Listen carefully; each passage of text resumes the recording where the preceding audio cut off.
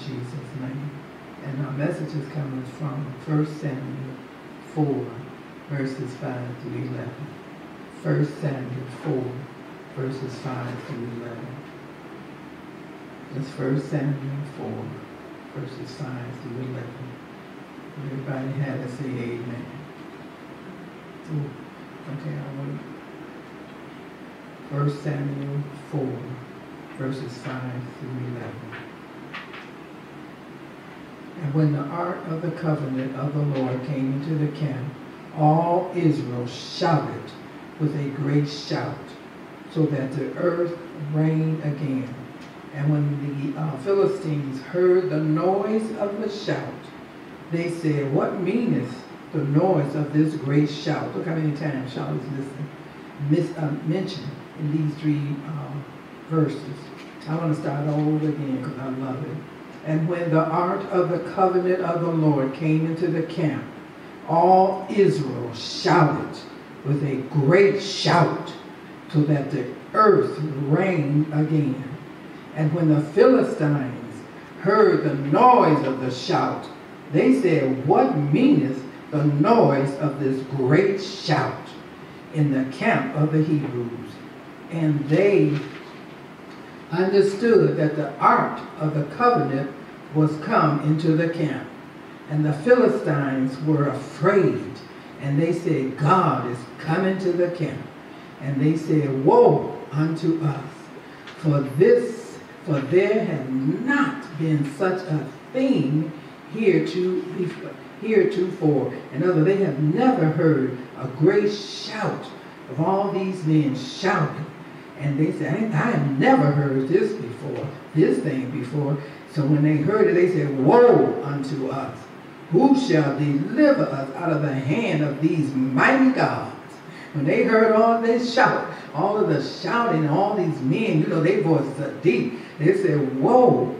Who thank you, Jesus. He said, he said, Woe. They said, Woe unto us. Who shall deliver us out of the hand of these mighty gods? These are the gods that smote the Egyptians with all the plagues in the wilderness. And, and then verse 9, it said, Be strong. So they encouraged themselves. We listen to a song, the minister of music, uh, a minister of music, Cherise Ogburn played today that encourage us. Is now this is what they're doing. It says, Be strong. To tell you to encourage yourself. Be strong and quit yourselves like men, O ye Philistines, and ye be not servants unto the Hebrews as they have been to you. Quit yourselves like men and fight. And then on uh, verses 10, and the Philistines fought, and Israel was smitten, and they fled every man into his tent, and there was a great slaughter, and there fell, for there fell of Israel thirty thousand footmen. In the last verse, verse 11, and the ark of God was taken, and the two sons of Eli is Hophni and Phinehas. It's Hophni. Let me go back and pronounce this right. It's called Hophni and. Phinehas. Hophni and Phinehas.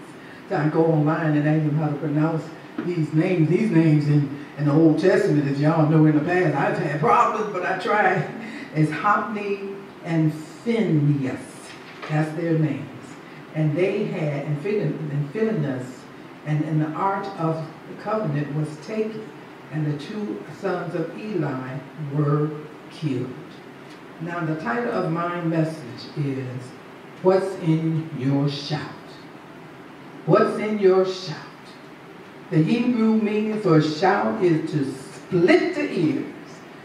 So when they heard the Israel, I think it was, uh, I don't know how many thousands of men, I'm going to bring it out. When they heard it, they were scared. They said, woe with us. Because that noise was so loud, it's like it split the ears. So the Hebrew meaning, again, for shout is to split the ears. And it also means a cry of excitement. So I was sitting in a church years ago And all of us was shouting and dancing. And some was running around the church. Some of them was running out of the church. And then coming back in, having a good time in the Lord. When all of a sudden, I heard a soft voice that made me so sad, saying they are shouting over their sins. He said they were shouting over their sins. The Holy Spirit grieved within me, grieved, and I began to sit in service and tears running down my eyes. The Lord was not talking about everyone, only those who are living a life of a hypocrite. He said they are shouting over their sins. They got sin in them. They're living a life of a hypocrite, and they are shouting as if they live a holy life. So that's why he entitled this message, What's in Your Shout? So in 2 Timothy 3, 5, and 7, it says, having a form of godliness, but denying the power thereof, from such turn away. So these people that shouting over their sin, they have a form of godliness. They pretending like they're saved. They have one foot in the church and one in the world. They do everything that they want to do and then come into church pretending like they're saved. And when the music come on, they're shouting over their sins. Lord Jesus, help us. And for this is it, for of this sort that they are that they creep into houses. I'm going to say it again. 2 Timothy 3, 5 to 7. They have a form, a form of godliness, but they denying the power thereof. And the Lord telling the body of Christ from some from such turn away. For of this sort, these kind of people, are they which creep into houses and lead captive silly women. I preached a message a long time ago saying don't be a silly woman. They are laden with sin, led away with divers of lust, even ever learning and never able to come to the knowledge of the truth. So I began to pray right then, and I said, Lord, help us to take holiness serious. Jesus paid a painful price when he died on the cross for our sins. He died to bring all of us, the whole world, back to God, which Satan stole from Adam and Eve in the Garden of Eden. So in 2 Peter 1, 10 and 11, it says, Wherefore the rather, brethren, give diligence to make your calling and election sure. We got to make sure that we are counted worthy to stand before our Savior, worthy to escape the horrible tribulation that's coming upon this world, which is the wrath of God and our Savior Jesus Christ. For if you do these things, when you read further in 2 Peter, the upper verses like 1 through 9, is you shall never fall. There are some things that we can do in 2 Peter chapter 1, verses 1 through 9, that we, the Bible said, if we do these things, we shall never fall. We shall never be shouting over our sins. We shall never be a hypocrite. One thing in the church and another thing in the world. One thing in the church and another thing on your job and in school. And you're coming in church being a hypocrite. Lord Jesus, the Bible says the hope of a hypocrite shall what? Fall. So we thank God for his word. Hallelujah. For, for so an interest, the Bible says, shall be ministered unto you abundantly into the everlasting kingdom. If we do these things, if we do 2 Peter 1, 1 and 9, it names it. He said that we should have, we should be, for, for so an entrance, an entrance like an entrance, the door is open, shall be ministered unto you abundantly into the everlasting kingdom. There is the everlasting kingdom of our Lord and Savior, Jesus Christ. So Christian, born again believers, the body of Christ, must make absolutely sure that our praise, our worship, hallelujah, and our shout is holy and acceptable unto God. He will not accept anything else. In Titus 1 and 16, he said they possess, profess that they know God, but in works they deny him, being abominable and disobedient, and unto every good work a reprobate, and that means perverted and corrupt. In 1 John 2 and 4, that he that said, I know him, and keep not his commandments, is a liar, and the truth is not in him. See, a holy God will not be in the midst of unholy shouting like the men of Israel thought he would be. So God only accepts an honor, holy shout, a holy praise, a holy worship. See, God is holy and sacred. Hallelujah. God, Jehovah God, is Kadosh. Jehovah Kadosh means that he is holy. And verse, uh, and then in the beginning of this chapter, 4,000 Israelites were killed by the Philistines, the Philistines. And when the people were come into the camp, the elders of Israel said, Wherefore hath the Lord beaten us today before the Philistines? It is so sad that the leaders didn't know that there was something wrong with their spiritual life and their relationship with God. So they asked, why did we lose this war? It says, let us fetch, bring the ark of the covenant of the Lord out of Shiloh unto us, that when it comes among us, it may save us out of the hand of our enemies. So the people sent to Shiloh that they might bring forth, bring forward the ark of the covenant of the Lord of hosts, which dwelled amongst the cherubims, and the two sons of Eli, Hophni and Phinehas, were there with the ark of the covenant with of God. Now I want to give you some background information on Samuel because he plays an important part in this message. Now Hannah was married to Elkanah, and she was not able to bear him children. She went to God in a consecrated, focused prayer and pleaded with him to give him a child. So Hannah made a promise to God that she would give the child back to him. At first, Eli thought Hannah was drunk, but soon found out she was in deep, intense prayer to God. She wanted something from God that only God can give her. Eli, the priest, said, go in peace, when he realized that she was really praying and seeking God. And he pronounced a blessing over her. And may God, the God of Israel, grant thee thy portion that thou hast asked of him. God answered Hannah's prayer, and she became pregnant with Samuel. And after she weaned, after he was weaned from his mother, she took him to the temple and left him there as promised. Now look at the difference between Samuel. And you can live among wicked people, even in your house, and still be saved. Samuel grew up to be a great and honorable priest, prophet, and judge over Israel.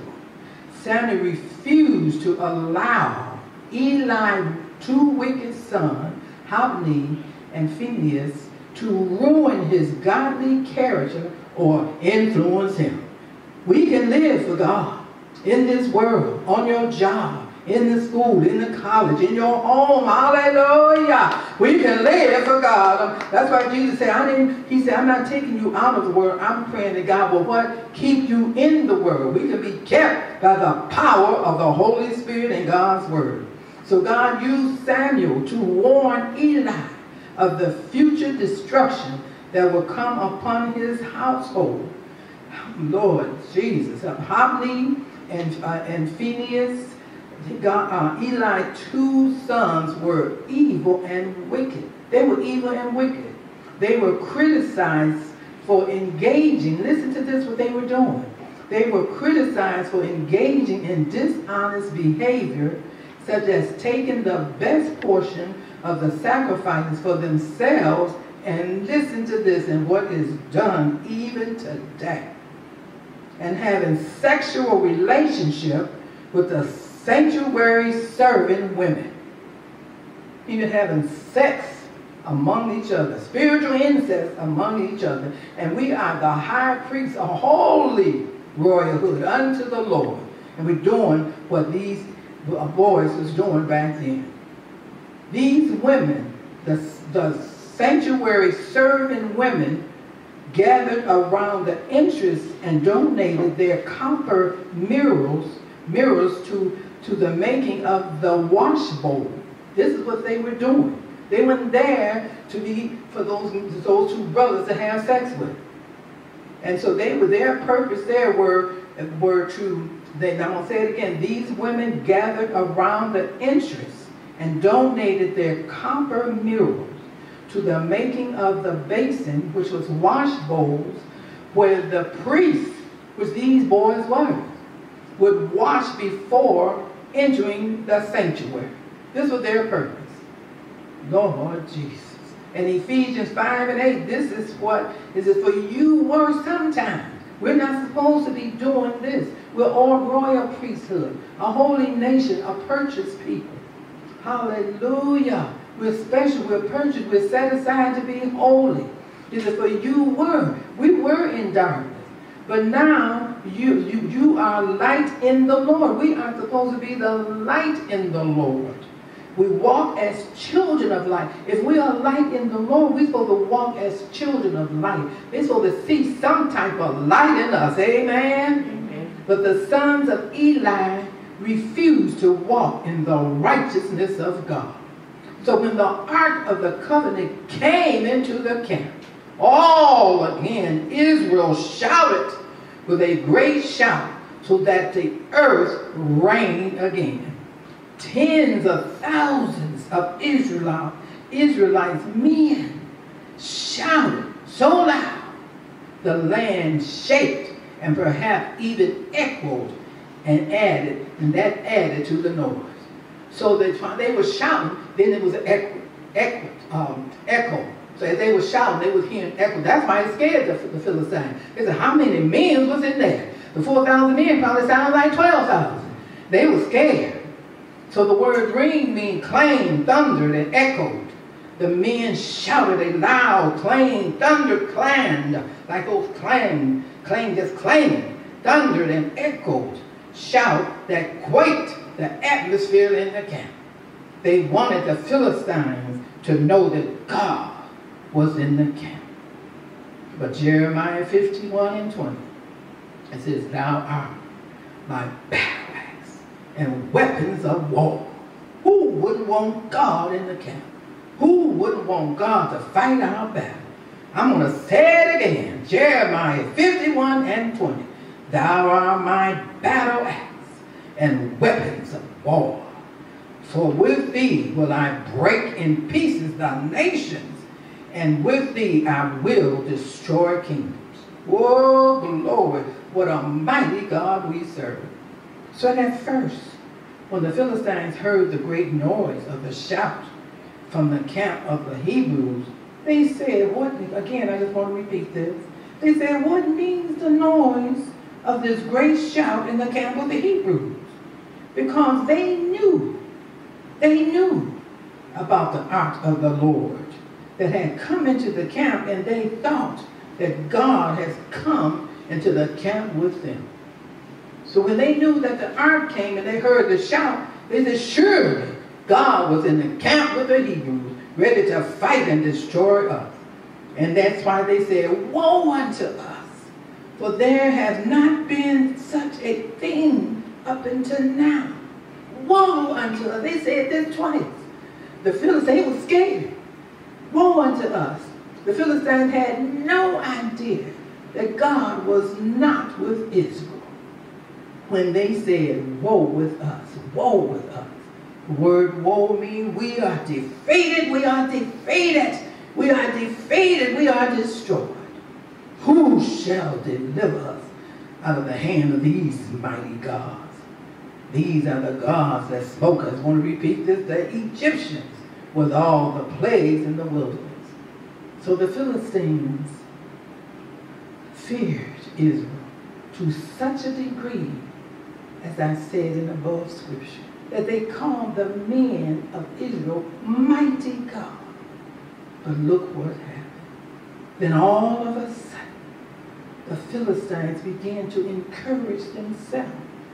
They said, be strong, be quit, as Q-U-I-T means be brave and mature like men, O ye Philistines, that ye be not servants unto the Hebrews, and they have been to you yourselves. He said, equip yourselves, get yourself ready, be brave, and be like men and get ready to fight. But notice this. All Israel shouted. They all shouted in one accord. They were united. United, they stood ready to fight and win. All the men was about to discover, and it is sad to say, that they was not, they was not ready. Hallelujah. All the men was about to discover something that they were not prepared for. And the Philistines fought. And Israel was beaten. And there was a great slaughter. And they fell on Israel 30,000 footmen. They killed 30,000. If all Israel had repented of their sins and asked God to forgive them, God would have given them the victory over the enemies. See, Israel was beaten before the Philistines because of sin. The Israel, the men, the 30,000 men was beaten by the Philistines because sin was mixed with their shout. Sin was in the camp. Therefore, God let the enemies defeat them. And the ark of God was taken. And the two sons of Eli, Hophni and Phinehas, was killed. This must be reiterated to Christians today. No matter how loud you shout, the tears running down your face, running up and down the aisle and out of the church doors. Now, hallelujah. How long sin will keep God out of your battle. Sin, hallelujah, will keep God from fighting against your enemies. Sin was in the camp. Sin was in their heart. Sin that they did not repent for and they had broken their relationship with God.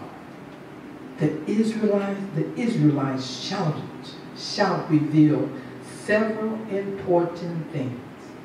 The men was united to such a degree that it caused the earth to quake and briefly, temporarily, distress the enemy to a point of fear. All the men had a false confidence of victory by having the ark. Hallelujah. It gave them, hallelujah, that it caused them, they will cause them to cause the enemies to panic. The Philistines called them gods and made them think back to when they smote the Egyptians with every kind of plague. And also, the men believed that God was with them, that they would deliver, that he would deliver them again, like he delivered them out of Egypt from their enemies. But, but Galatians 6 and 7 says, Be not deceived. God is not mocked. For whatever a man sows, that shall he also reap. And lastly, woe unto us that the Philistines said, more than one occasion, turned into their victory. They realized they had no reason to fear Israel. Oh my Lord. What was Israel seeing? They were corrupt in religion and moral values. They had gone far off from God. They had backslidden and went far off from God.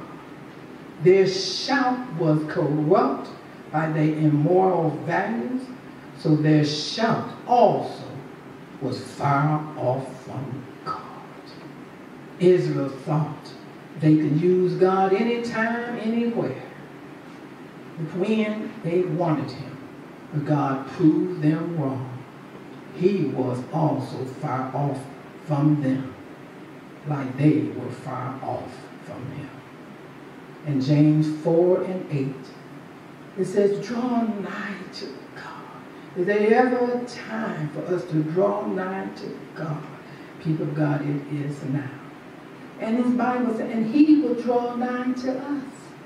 See, there's a condition. God just don't want to give and never receive from us.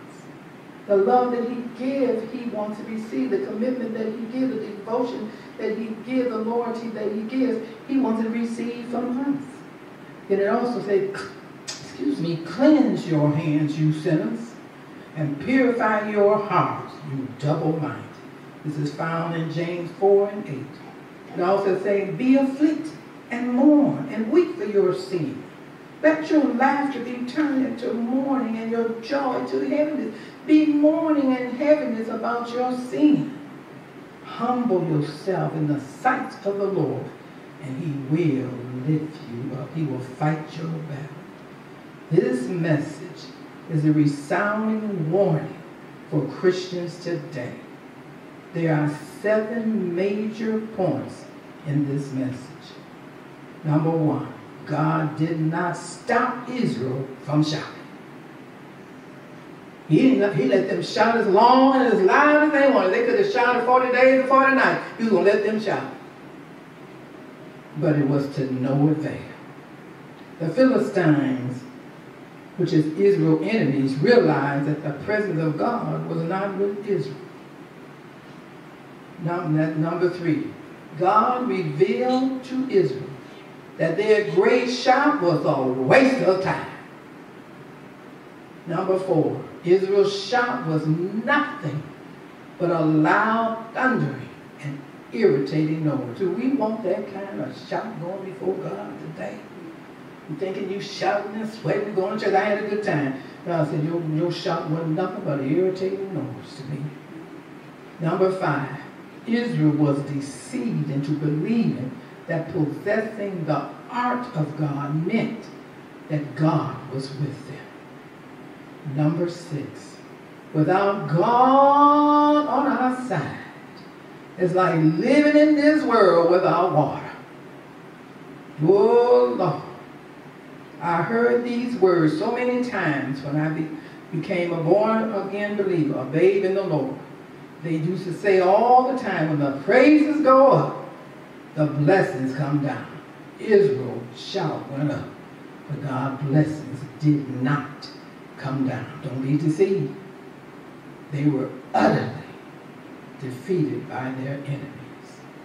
And then in Isaiah 59 and 1 and 2, Behold, now look at this for God. Behold, the Lord's hand is not shortened, that it cannot save, neither his ear heavy, that it cannot hear. But he said, but your sins, your iniquity, have separated between you and your God. And your sins have hidden his face from you, that he will not hear. He, he didn't want to hear. He heard, but he ignored. He said, I'm not going to, I hear, but I'm not going to, I'm not going to answer your prayers. I'm going to hear and ignore. God wants the church to know that your shouting is in vain, fruitless and dead, when it is mixed with, when sin is in the mix. When sin dwells in your heart, when sin is in your life. If Israel's shouting was filled with a holy life, a dedicated, committed, and loyal life to God, a loyal life to God, they would not have been defeated. I cannot emphasize this enough to the church. Israel shouting did not impress God. God removed himself from the battlefield before they even began to shout. God don't do things in the last minute. He watches. His eyes go to and fro, beholding the good and the evil. Israel was taken, Israel had taken for granted that their shout would move the hand of God on their behalf. Where sin lives, God will not abide. And there are five major lessons that the body of Christ, Christians, born again believers, can learn from these men. Before they, before they shouted, they only lost 4,000 men. So you would think after they shouted, they would have won the war. But after they shouted, they lost 30,000 men. So what did they tell you? They could have kept their shout.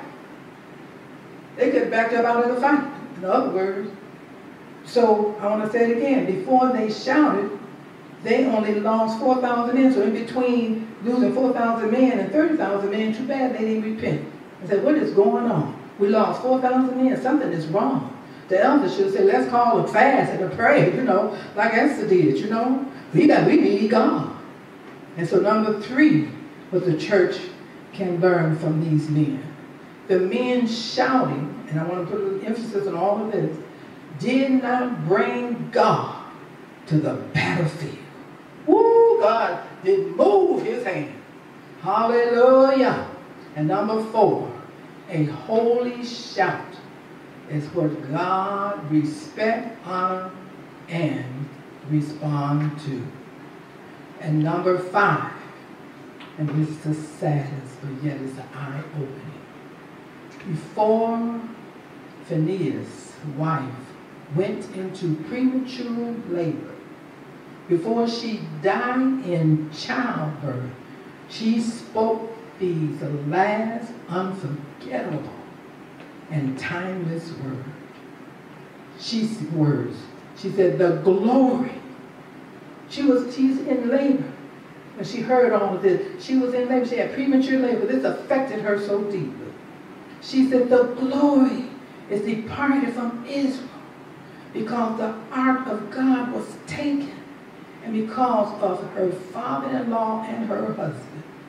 And she named the child before she died Issachar, means no glory. Oh my Lord, she knew how extremely important it is and was to have the presence of God, the glory of God with us. She repeated this twice. The glory of God was departed from Israel because of the ark was taken. After the Philistines defeated 34,000 uh, uh, Israelites, they took the ark of God. Oh my Lord, she could not believe she went into premature labor and she died having birth because of her father-in-law and her husband. Without doubt, she knew how important it is. And we need to know the same thing, how important it is to keep the presence of God in our heart and our life. Hallelujah, in our soul and our spirit. This is true today. We need God. Come on, give a hand clap. We need God. Hallelujah. We need the glory of God. We need God's divine presence in our every, each and every day. Hallelujah. Satan is a roaring, as a roaring lion, lion seeking who he may devour every single day. And we need God to help us uh, against that enemy. Amen? Amen. Again, sin separates us from God. We don't need to be far off from God, and we don't need God to be far off from us. Amen? Amen. So, Eli, the father of these two sons, were sitting on the seat waiting for the results of the war. And messengers came to him with the bad news that both of his sons had died. Now, notice this. It wasn't until the messenger said that the ark of God was taken that Eli fell off his seat backwards, broke his neck, and died. It seemed as though Eli was more grief-stricken over the ark of God being taken than the death of his two sons. Ooh, Lord, that's how important it is to keep the glory of God with us. The glory, when God's glory, God's presence is no longer with us, we are left to ourselves, defenseless, unguarded, unprotected, helpless, and defeated by our enemies, especially the devil. But I said a little while ago, who come to steal, kill, and destroy the people of God. But who can fight against God? Glory, as long as we got a God covering us like he did Job. Hallelujah. No weapon formed against us shall prosper. Hallelujah. If God be for us, I want to say it again. Who? Give me your name. And to be against us. Glory. Hallelujah. One main goal should always be, our main goal should always be keeping God in the center of our heart, our mind, and our life. This is done by a holy and committed life before God. The absence of God's glory is the absence of God himself. This caused Israel to lose the sum total of 34,000 men in the war against the Philistines. This profound message is a reminder to Christians today, shouting, Hallelujah, in your sin, over your sin, dancing over your sin, shouting over your sin, profits, you nothing. We have a solemn obligation and responsibility, people of God, to protect the sanctity, the sanctity of our shout, our praise and our worship, the purity of our shout and praise and worship. We don't want to hear the Lord say, Depart from me, you workers of iniquity. I never knew you. I never knew your praise. I never knew your worship. I never knew your shout. In other words, I don't know you.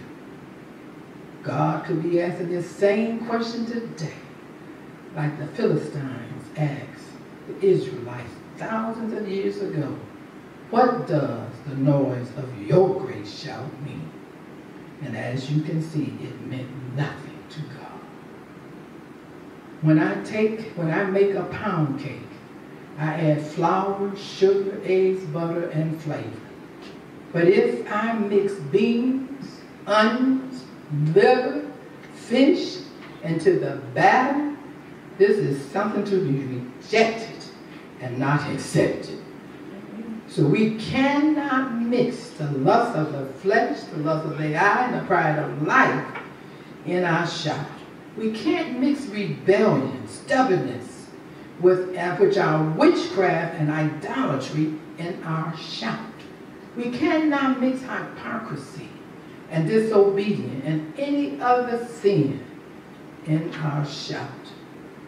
If our praise and worship and shout is shouting is mixed with sin, it is nothing again but a loud thundering, irritating, useless noise to God.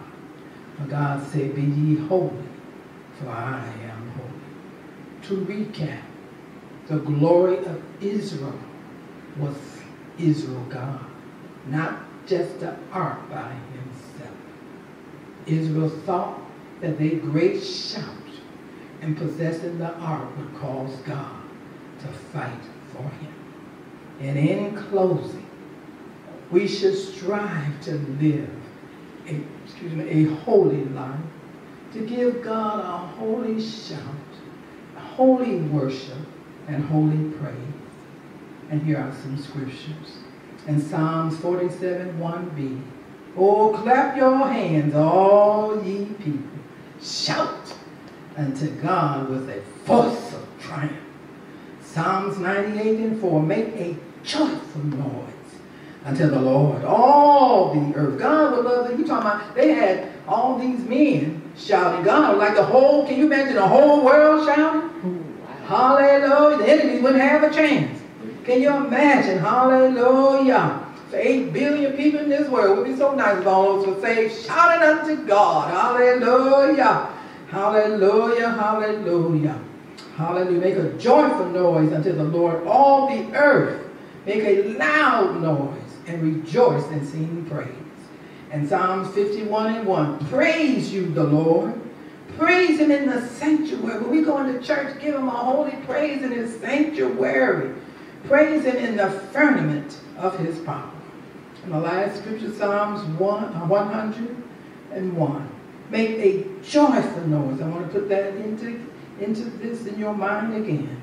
Make a joyful noise unto the Lord, all ye land. He want everybody across the world to make what? A joyful noise unto the Lord. Hallelujah. It is never God's will to reject our shout, praise, or our worship. See, God dwells in the midst of praise. So come on, shout. Let us split the ears of the enemy. And the last scripture, let everybody stand. Hallelujah. Psalm 66 and 8. Oh, bless our Lord, you people, and make a noise, make a voice. And this is what I love. Hallelujah. Psalms 66 and 8.